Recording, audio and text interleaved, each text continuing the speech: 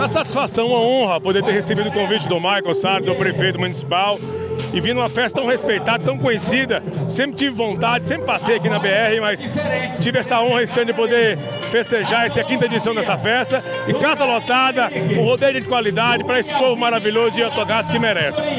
Bom, eu gostaria que você contasse pra gente qual que é o segredo da narração do rodeio. É sentir a montaria ali, trazer pra emoção de quem tá assistindo. Conte um pouco pra gente da sua experiência arenas.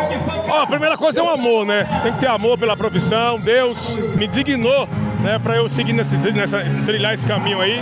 E eu sou muito feliz, a adrenalina dos competidores, a montaria, o conjunto completo, e a obrigação do locutor é essa: é passar a emoção para o público que está assistindo, o que acontece ali durante 18 segundos, e é esse conjunto que faz esse sucesso que é essa festa em Alto Garça. Apenas a primeira noite, então a população aqui da nossa região pode vir acompanhar os outros dias. Com certeza, você que não veio, tá perdendo. Amanhã tem mais, até sábado, grandes shows, uma qualidade de rodeio com o Mike Salles Rodeio. Então você que tá em casa que não veio, chega pra cá, que a festa é de vocês. E tamo junto. Ajeita no boi!